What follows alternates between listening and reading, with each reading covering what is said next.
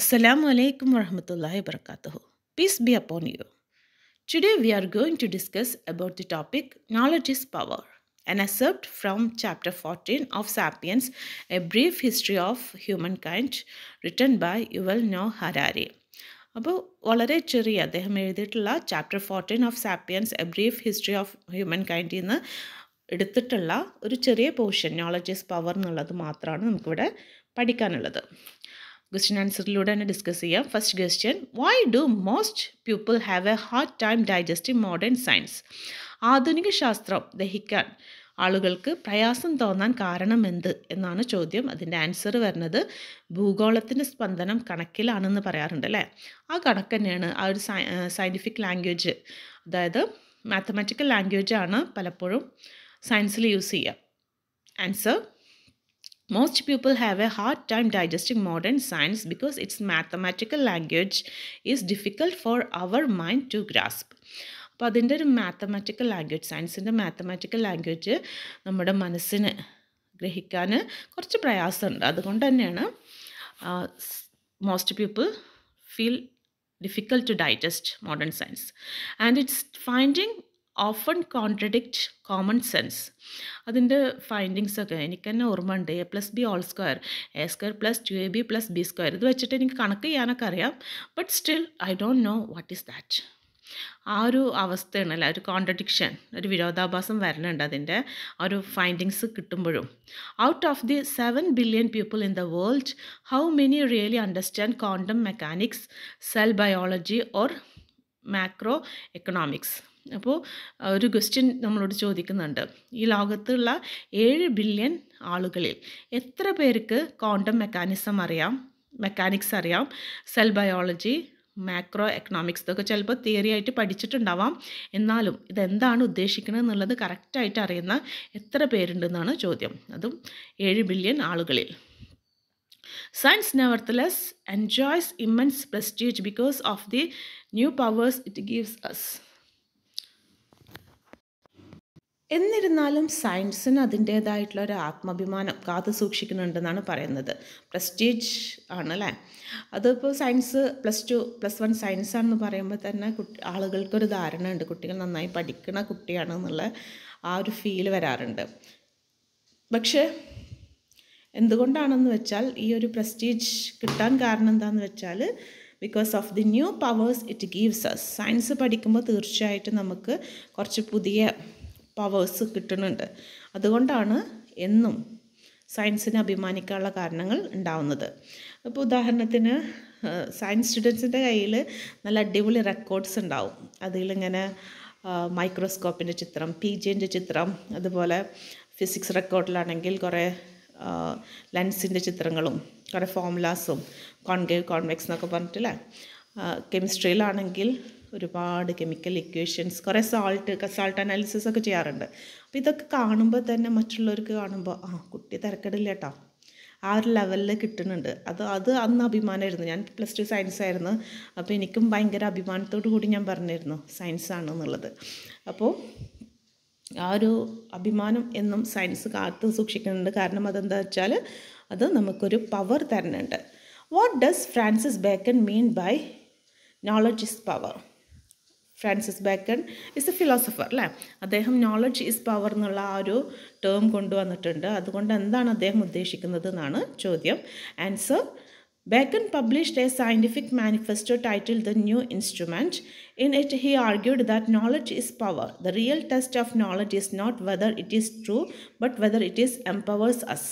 Bacon എന്താ പറയണത് വെച്ചാൽ അദ്ദേഹം അദ്ദേഹത്തിന്റെ ഇത് ഈ ഒരു നോളജ് ഇസ് പവർ എന്നുള്ള ഒരു സ്റ്റേറ്റ്മെന്റ് കൊണ്ടുവന്നിട്ടുള്ളത് അദ്ദേഹത്തിന്റെ സയന്റിഫിക് മാനിഫെസ്റ്റോയിലാണ് മാനിഫെസ്റ്റോ മീൻസ് ഒരു വിളം വിളംബരം അല്ലേ അതിന്റെ പേര് ദി ന്യൂ ഇൻസ്ട്രുമെന്റ് എന്നുള്ള ഒരു പേരാണ്.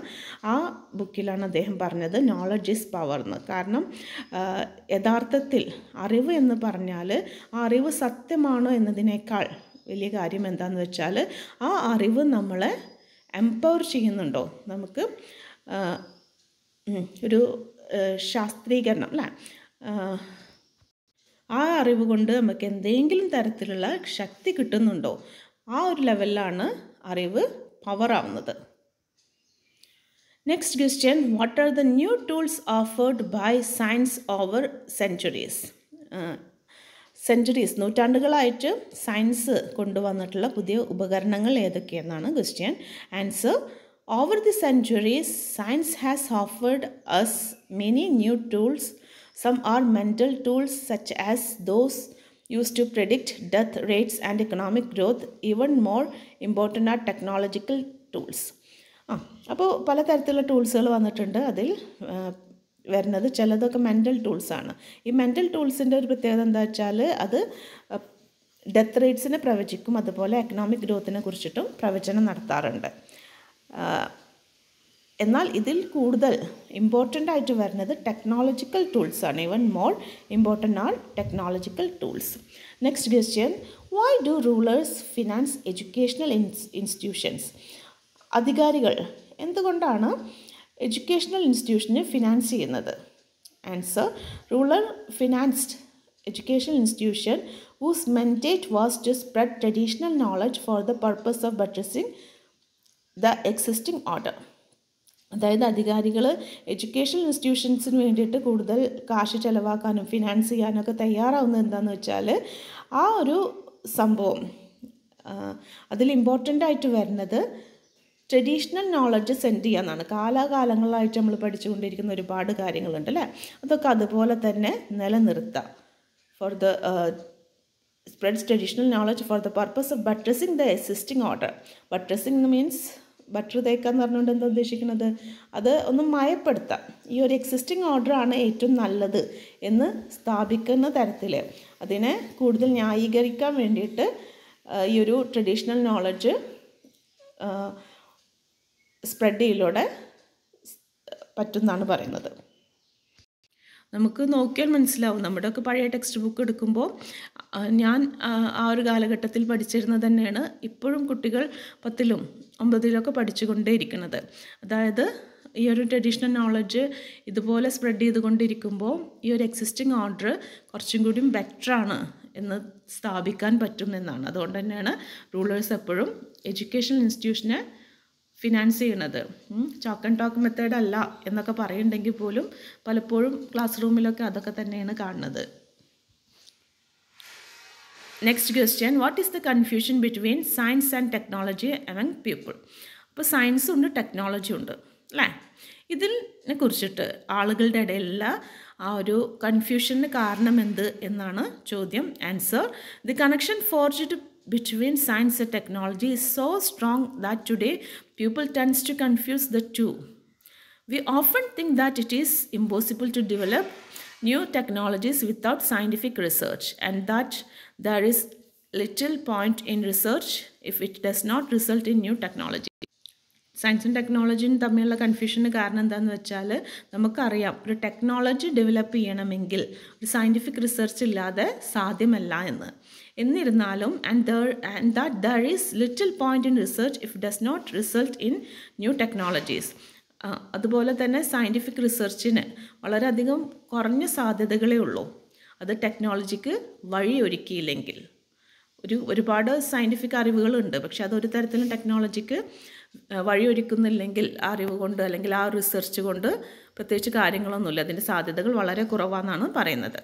Next question what are the new wonder weapons invented during the First World War First World വാറിന്റെ സമയത്ത് ഇൻവെന്റ് ചെയ്തിട്ടുള്ള വണ്ടർഫുൾ വെപ്പൺസ് ഏതൊക്കെയെന്നാണ് ചോദ്യം. Answer during the First World War the laboratories rolled a constant stream of new wonder weapons അതിൽ വരുന്നത് ഏതൊക്കെയാണ്? Compact aircraft poison gas tanks submariners and ever more efficient machine guns artillery pieces rifles and bombs അപ്പോൾ ഇതൊക്കെയാണ് first World വാറിന്റെ സമയത്ത് invent ചെയ്തിട്ടുള്ള പുതിയ weapons അപ്പോൾ നോളജ് ഈസ് പവർ എന്ന് പറയുന്നത് ഈ പറഞ്ഞ പോലെ തന്നെയാണ്. അറിവുകൾ നല്ല രീതിക്ക് ഉപയോഗിക്കുക അല്ലേ?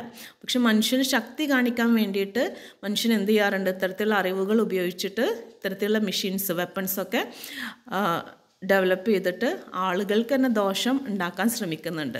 അവർ അവരുടെ ആ ഒരു അധികാരം പരമാധികാരം കാണിക്കാൻ വേണ്ടിയിട്ട് ആളുകളെ അവരുടെ പവർ കാണിച്ചുകൊണ്ട് ഭയപ്പെടുത്തിക്കൊണ്ട് ജീവിപ്പിക്കുകയാണ്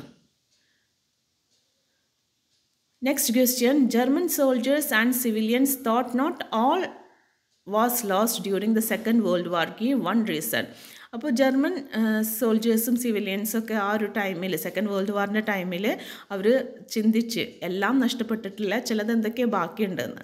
അങ്ങനെ ചിന്തിക്കാൻ കാരണം എന്തെന്നാണ് ചോദ്യം. അതിന് അങ്ങനെ ചിന്തിക്കാൻ ഒരു കാരണമാണ് ചോദിച്ചിട്ടുള്ളത്. Answer one reason German soldier and civilians thought not all was lost was that they believed German scientist were about to turn the tide with so-called miracle weapons such as the V2 rocket and jet-powered aircraft. അപ്പോൾ ആ ഒരു ടൈമിൽ എന്താണ് അവിടെ ഉണ്ടായിരുന്നതെന്ന് വെച്ചാൽ German soldiers എല്ലാ തരത്തിലും പരാജയപ്പെട്ടുകൊണ്ടിരിക്കുകയാണ് എങ്കിലും അവരുടെ പ്രതീക്ഷ നഷ്ടപ്പെട്ടിട്ടില്ല ഇനിയും ജയിക്കാനുള്ള സാധ്യതകൾ ഉണ്ടെന്ന് തോന്നാൻ കാരണം എന്താണെന്ന് വെച്ചാൽ ജർമ്മൻ സയന്റിസ്റ്റ് വളരെ പവർഫുൾ ആയിട്ടുള്ള വെപ്പൺസ് ഡെവലപ്പ് ചെയ്യുന്നുണ്ടായിരുന്നു. മിറാക്കൽ വെപ്പൺസ് എന്നാണ് പറയുന്നത്. അത്ഭുതങ്ങൾ സൃഷ്ടിക്കാൻ. അത്ഭുതങ്ങൾ എന്ന് പറഞ്ഞാൽ ലോകത്ത് സമാധാനം ഉണ്ടാക്കിയിട്ടല്ല. പകരം വി ടു റോക്കറ്റും ജെറ്റ് പവേർഡ് എയർക്രാഫ്റ്റൊക്കെ നിർമ്മിച്ചുകൊണ്ടാണ് അവർ അവരുടെ പ്രതീക്ഷ കൂട്ടാൻ കാരണം. ജർമ്മൻ സയന്റിസ്റ്റ് ഇതൊക്കെ നിർമ്മിക്കുന്നുണ്ട്. അതുകൊണ്ട് അവർക്ക് ഉണ്ടാക്കി ജർമ്മൻ ജർമ്മനിയിൽ ഉണ്ടാക്കിയുള്ള നഷ്ടത്തേക്കാൾ നാശനഷ്ടത്തേക്കാൾ വലിയ നഷ്ടം ഇവർക്ക് തിരിച്ചു കൊടുക്കാൻ പറ്റും എന്ന രീതിക്കുള്ള ആ ഒരു ചിന്തയോണ്ടാണ് ഇവർക്ക് കുറച്ചും കൂടിയും പിടിച്ചു നിൽക്കാൻ പറ്റും എന്നുള്ള തോന്നലുണ്ടായത്. Next question how can nanotechnology find a solution terrorism എങ്ങനെയാണ് നാനോ ടെക്നോളജി ടെററിസത്തിലൊരു പ്രതിവിധി കണ്ടുപിടിച്ചെന്നാണ് ചോദ്യം. Answer today many Americans believes that the solution to terrorism is technological rather than political ഇന്നും ആളുകൾ അമേരിക്കക്കാരായിട്ടുള്ള ആളുകൾ വിചാരിക്കുന്നത് എന്താണെന്ന് വെച്ചാൽ ടെക്നോളജിയാണ് രാഷ്ട്രീയത്തേക്കാൾ കൂടുതൽ ഈ ടെറ ടെററിസത്തിനെതിരെയുള്ള വെപ്പണായിട്ട് യൂസ് ചെയ്യാൻ പറ്റുന്നത് ഒരു സൊല്യൂഷൻ കൊണ്ടുവരുന്നത് എന്നാണ് പറയുന്നത്. Just give millions more to the nanotechnology industry they believe and the United State could send bionic spy flies into every Afghan cave Yemen Yemenite redoubt and North African encampment അപ്പോൾ ഈ ഒരു സ്ഥലത്തേക്കൊക്കെ ഇവർ develop ചെയ്തിട്ടുള്ള spy flies ചാരപ്രവൃത്തി ചെയ്യുന്ന ഒരു തരത്തിലുള്ള flies ഈച്ചകളെ പറഞ്ഞു വിടാം എന്നാണ് bionic spy flies flies bionic spy ഫ്ലൈസിനെ എല്ലാ അഫ്ഗാൻ കേവുകളിലും അഫ്ഗാനിസ്ഥാൻ ടെററിസ്റ്റുകളൊക്കെ കേവിലാണ് അതായത് ഗുഹയിലാണ് ഒളിച്ചിരിക്കണമെന്ന് പറയാറുണ്ട് അല്ലേ അപ്പോൾ ആ ഒരു സ്ഥലത്തേക്കും എമന്റേ എമിനേറ്റിക്കും redoubt and North African and കാമ്പമെന്റിക്കൊക്കെ എന്ത് സെൻഡ് ചെയ്യാം? ഈ ഒരു ബയോണിക് സ്പൈ ഫ്ലൈസിനെ സെൻഡ് ചെയ്യാം. ഞാനോ ടെക്നോളജി യൂസ് യൂസ് ചെയ്ത് ഡെവലപ്പ് ചെയ്തിട്ടുള്ളതാണ് ഈ ബയോണിക് സ്പൈ ഫ്ലൈസിനെ വൺസ് ദാറ്റ് ഈസ് ഡൺ ഇതൊരിക്കൽ ചെയ്ത് കഴിഞ്ഞാൽ Osama bin Laden heirs will not be able to make a cup of coffee without a C I A spy fly അപ്പോൾ എന്താണ്? Osama bin ലാദന്റെ കാലത്ത് എഴുതിയിട്ടുള്ള ഒരു ആർട്ടിക്കിളാണ് അല്ലേ? അപ്പോൾ ഒസാമ ബിൻ ലാദൻക്ക് എന്തുണ്ടാക്കാൻ പറ്റില്ല? സ്വസ്ഥമായിട്ട് ഒരു കപ്പ് കോഫി ഉണ്ടാക്കാൻ പറ്റില്ല. കാരണം C I A spy fly ആ ഒരു ജാരനായിട്ടുള്ള ഫ്ലൈ എന്ത് ചെയ്യുന്നുണ്ട് അവിടെ ഇവർ നിരീക്ഷിച്ചുകൊണ്ടിരിക്കുന്നുണ്ട്. അപ്പോൾ സ്വസ്ഥമായിട്ടൊരു കപ്പ് ചാ കോഫി ഉണ്ടാക്കി കുടിക്കാൻ പോലും സംഭവമില്ല അതിന് പറ്റില്ല എന്നാണ് പറയുന്നത്. Passing this vital information back to headquarters in Langley allocate millions more to brain research and every airport could be equipped with ultra sophisticated fMRI scanner that could immediately recognize angry and hateful thought in pupils' brain. അപ്പോൾ ഈ ഒരു F M R I F M R I scanning എന്നുള്ള സംഭവങ്ങളൊക്കെ നടക്കുന്നുണ്ട്. Ultra sophisticated F M R I scanning ഒക്കെ നടക്കുന്നുണ്ട്. ആ ഒരു പ്രക്രിയ മൂലം ഒരാളുടെ മനസ്സിൽ വെറുപ്പുണ്ടാക്കുന്ന ഒരു ചിന്ത വന്നാൽ പോലും ഐഡന്റിഫൈ ചെയ്യാൻ പറ്റും എന്നാണ് പറയുന്നത്. Next question what is the surprisingly recent phenomena about science and technology അപ്പോൾ എന്താണ്? റീസെന്റായിട്ട് പുതിയതായിട്ട് വന്നിട്ടുള്ള എന്ത് പ്രക്രിയയാണ് ടെക്നോളജിയിൽ സയൻസ് ആൻഡ് ടെക്നോളജിയിൽ കാണാൻ പറ്റണമെന്നാണ് ചോദ്യം. Answer this obsession with military technology from tank to atom bombs to spy flies is a surprisingly recent phenomena അപ്പോൾ ഇത് തന്നെയാണ് അല്ലേ? ഏറ്റവും വലിയ വ്യത്യാസം എന്ന് വെച്ചാൽ അന്ന് മിലിറ്ററി ടെക്നോളജിയിൽ ടാങ്ക്സും ആറ്റം ബോംബ്സും ഒക്കെ ആണെങ്കിൽ ഇന്നെന്താണ്? സ്പൈ ഫ്ലൈസും ലേക്ക് മാറിയിട്ടുണ്ട്. സ്പൈ ഫ്ലൈസ് എന്നൊക്കെ പറഞ്ഞാൽ നാനോ ടെക്നോളജിയാണ് ടെക്നോളജിയേക്കാൾ നാനോ ടെക്നോളജിയാണ് ഇപ്പോൾ വർക്കിംഗ് ആയിട്ടുള്ളത്. അതുതന്നെയാണ് ഇപ്പോൾ അടുത്ത കാലത്ത് വന്നിട്ടുള്ള ഏറ്റവും വലിയ മാറ്റം എന്ന് പറയുന്നത്. Why did President Truman decide to use the new bomb അപ്പോൾ ട്രുമാൻ ന്യൂ ബോംബ് യൂസ് ചെയ്യാനുള്ള കാരണം എന്താണെന്നാണ് ചോദ്യം. American general told President Harry S Truman that an invention of Japan would cause the lives of a million American soldiers and would extend the war well into nineteen forty six American general അദ്ദേഹത്തോട് President ട്രുമാനോട് പറയാണ് Harry S Truman അല്ലേ അദ്ദേഹത്തിനോട് പറയാണ് ജപ്പാൻകാർക്കെതിരെ ഒരു ആക്രമണം ഉണ്ടാകുമ്പോൾ millions of American soldiers എന്താവും? ആ ഒരു ആക്രമണത്തിൽ മരണപ്പെടാൻ സാധ്യതയുണ്ട്. അത് പിന്നെ അതുമല്ല ഈ ഒരു വാറ് നയന്റീൻ ഫോർട്ടി സിക്സ് വരെ നീണ്ടു പോകാനും സാധ്യതയുണ്ട്. Truman decide to use the new bomb two weeks and two atom bombs later Japan surrendered unconditional and the war was over അപ്പോഴാണ് ട്രുമാൻ എന്ത് തീരുമാനിച്ചത്? ഈ ഒരു ന്യൂ ബോംബ് പുതിയതായിട്ട് കണ്ടുപിടിച്ചിട്ടുള്ള ആ ഒരു ബോംബ് യൂസ് ചെയ്യാൻ തീരുമാനിച്ചത്. രണ്ടാഴ്ചയിൽ രണ്ട് ആറ്റം ബോംബ് വിടുക അപ്പോൾ ആറ്റം ബോംബൊക്കെ വിട്ടിട്ടുണ്ടെങ്കിൽ ആളുകൾ എത്ര പവർഫുള്ളായിട്ടുള്ള രാജ്യമാണെങ്കിലും പിടിച്ചു നിൽക്കാൻ പറ്റില്ല അല്ലേ? അങ്ങനെ ജപ്പാൻകാർ എന്ത് ചെയ്ത്? പ്രത്യേകിച്ച് ഉപാധികളൊന്നും വെക്കാതെ ആ ഒരു വാറിൽ സറണ്ടർ ചെയ്യാണ്. അങ്ങനെ യുദ്ധം അവസാനിച്ചു. ഇത്ര വലിയ നഷ്ടമാണ് അല്ലേ? ഇന്നും ജപ്പാനിൽ ജനിക്കുന്ന കുട്ടികൾക്ക് ഈ ഒരു ബോംബിട്ടതിന്റെ വൈകല്യങ്ങൾ ഉണ്ടെന്നാണ് പറയുന്നത്. Next question how was gunpowder invented അപ്പോൾ എങ്ങനെയാണ് ഗൺ പൗഡർ ഉണ്ടാക്കിയത് അല്ലെങ്കിൽ കണ്ടുപിടിക്കാനുള്ള സാഹചര്യത്തെ കുറിച്ചിട്ടാണ് ചോദ്യം. Answer the most important military invention in the history of China was gunpowder അപ്പോൾ ചൈനയുടെ ചരിത്രം പരിശോധിക്കുകയാണെങ്കിൽ ഏറ്റവും വലിയ ഒരു ഇൻവെൻഷൻ കണ്ടുപിടുത്തം എന്ന് പറയുന്നത് ഏതാണ്? പൗഡറാണ് yet to the best of our knowledge gunpowder was invented accidentally by Daoist alchemist searching for the elixir of life ഇത് ഗൺ പൗഡർ എന്ന് പറഞ്ഞാൽ ഡയോയിസ്റ്റ് ആൽക്കമിസ്റ്റുകൾ എന്താണ് അവരുടെ റിസർച്ചിന്റെ ഇടയിൽ കണ്ടുപിടിച്ചിട്ടുള്ള വളരെ ആക്സിഡന്റലി ആയിട്ട് കണ്ടുപിടിച്ചിട്ടുള്ള ഒരു സംഭവം എന്നാണ് പറയുന്നത്. അവർ ശരിക്കും കണ്ടുപിടിക്കാൻ നോക്കിയിരുന്നത് എലിക്സർ ഓഫ് ലൈഫാണ് അതായത് ജീവിതത്തിൽ എന്നും സന്തോഷം ഉണ്ടാകാൻ വേണ്ടിയിട്ട് എക്കാലത്തും നിലനിൽക്കാൻ വേണ്ടിയിട്ട് ലൈഫ് എന്നും നിലനിൽക്കാൻ വേണ്ടിയിട്ടുള്ള എന്തോ ഒരു മരുന്ന് കണ്ടുപിടിക്കാനാണ് അവർ ശ്രമിച്ചത്. പക്ഷെ അതിന് പകരം അവിടെ ഉണ്ടായ സംഭവം എന്താണ്? ഗൺ പൗഡറാണ് എലിക്സർ എന്ന് പറഞ്ഞാൽ എലിക്സർ ഓഫ് ലൈഫ് എന്ന് പറഞ്ഞാൽ ഇറ്റ്സ് എ പോ potion that supposedly grants the drinker eternal life or eternal youth എന്നെന്നും യുവത്വം നിലനിർത്താനോ അല്ലെങ്കിൽ എന്നെന്നും ലൈഫ് നിലനിർത്താനും വേണ്ടിയിട്ട് കണ്ടുപിടിക്കണ ഒരു കണ്ടുപിടുത്തം നടത്താനാണ് അവർ ഉദ്ദേശിച്ചത് എങ്കിൽ പോലും ആകസ്മികമായിട്ട് ഗൺ പൗഡറാണ് അവിടെ കണ്ടുപിടിക്കുന്നത്. Gunpowder subsequent subsequent career is even more telling. One might have thought that the Daoist alchemist would have made China master of the world. നമുക്ക് പറയാൻ പറ്റൂല്ലേ ഗൺ പൗഡർ എന്ന് പറഞ്ഞാൽ ഇപ്പോൾ വളരെ ഫ്രീക്വന്റ് ആയിട്ട് എല്ലാ രാജ്യങ്ങളിലും യൂസ് ചെയ്യണതാണ് അല്ലേ? അപ്പോൾ ഈ ഒരു ഡയോസ്റ്റിക്കൽ ആൽക്കമിസ്റ്റിന്റെ ഈ ഒരു കണ്ടുപിടുത്തമാണ് ചൈനനെ മാസ്റ്റർ ഓഫ് ദ വേൾഡ് ആക്കിയതെന്നാണ് പറയുന്നത്. In fact the Chinese used the new compound mainly for firecrackers ശരിക്കും പറഞ്ഞാൽ ഫസ്റ്റിൽ ഇത് കണ്ടുപിടിച്ച സമയത്ത് ഇവർ ഈ ഒരു ന്യൂ കോമ്പൗണ്ടിനെ ഗൺ പൗഡർ എന്ന് പറയുന്ന ഈ ഒരു ന്യൂ കോമ്പൗണ്ടിനെ ഫയർ ക്രാക്കേഴ്സ് അഥവാ പടക്കായിട്ടാണ് യൂസ് ചെയ്തിരുന്നത്. Even as the Song empire collapsed in the face of Mongol invasion, no emperor set up a medieval Manhattan project to save the empire by inventing a doomsday weapon. പറയണത് എന്താ വെച്ചാൽ song Empire എല്ലാം നശിച്ച് Mongol കീഴടങ്ങാൻ Mongol ആക്രമണത്തിൽ എല്ലാം നഷ്ടപ്പെട്ടിട്ട് Song Empire നിൽക്കുമ്പോൾ no emperor set up a medieval Manhattan project to save the empire by inventing a doomsday weapon doomsday എന്ന് പറഞ്ഞാൽ അന്ത്യദിനത്തല്ലേ? അന്ത്യദിനത്തിൽ ഡൂംസ് ഡേ വെപ്പൺ എന്ന് പറഞ്ഞാൽ അന്ത്യദിനം വരുത്തുന്ന ഒരു വെപ്പൺ അത്തരത്തിലുള്ളൊരു വെപ്പൺ ഉണ്ടാക്കിക്കൊണ്ട് ഒരിക്കലും സോങ് എംപയറിനെ രക്ഷിക്കാൻ ആർക്കും കഴിഞ്ഞില്ല എന്നാണ് പറയുന്നത്.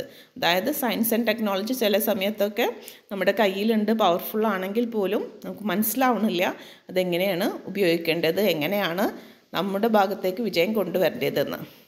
മൻഹട്ടൻ പ്രോജക്റ്റ് എന്ന് പറഞ്ഞാൽ was a research and development undertaking during world war second that produce the first nuclear weapon Manhattan പ്രോജക്റ്റിലൂടെയാണ് അത്ര ആദ്യത്തെ ന്യൂക്ലിയർ വെപ്പൺ സെക്കൻഡ് വേൾഡ് വാറിന്റെ സമയത്ത് കണ്ടുപിടിക്കുന്നത്.